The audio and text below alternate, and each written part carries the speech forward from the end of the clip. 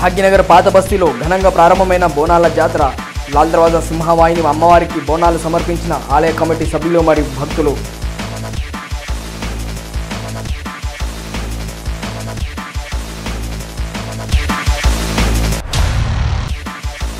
August ఐదున జరిగే శ్రీరామ జన్మభూమిపై ఆలయ భూమి పూజ కార్యక్రమంలో ప్రధానమంత్రి నరేంద్ర మోదీ హాజరు కానున్నారు. ఉదయం పదకొండు గంటలకు మోదీ అయోధ్యకు చేరుకోనున్నట్లుగా అధికారులు తెలిపారు. భూమి పూజ కార్యక్రమం మధ్యాహ్నం మూడు నుంచి నాలుగు గంటల వరకు నడుస్తుందని తెలిపారు.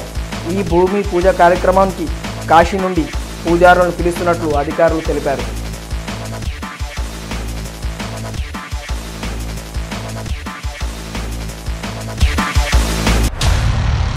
దేవాదాయ శాఖ మంత్రి అల్లుల ఇంద్రకరణ్ రెడ్డి బోనాల జాతర సందర్భంగా ఈరోజు నిర్మల్ జిల్లా పట్టణంలోని శ్రీ నందిగుండం దుర్గామాత అమ్మవారికి కుటుంబ సమేతంగా బోనాన్ని సమర్పించారు ఈ సందర్భంగా మాట్లాడుతూ రాబోయే రోజుల్లో ఈ ఆలయాన్ని అభివృద్ధికి కృషి చేస్తారని తెలిపారు ఆర్థిక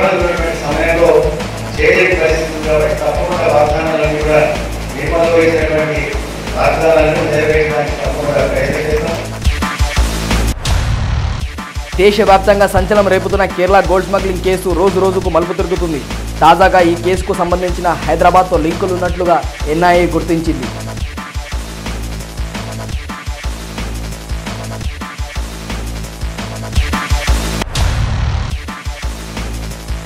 ఇవాళ తెల్లవారుజామున చిలుకూరు బాలాజీ దేవాలయం లోపలగా శివాలయంలో ఒక తాంబేలు. ఈ తాంబేలు ఎలా ప్రవేశించిందో తెలియక ఆశ్చర్యంగా ఉందని శివాలయం పూజారి తెలిపారు. ఈ కురుమూర్తి ప్రవేశం ఒక దివ్యమైన సంకేతాన్ని సూచిస్తూ ఉందని అన్నారు పూజారులు.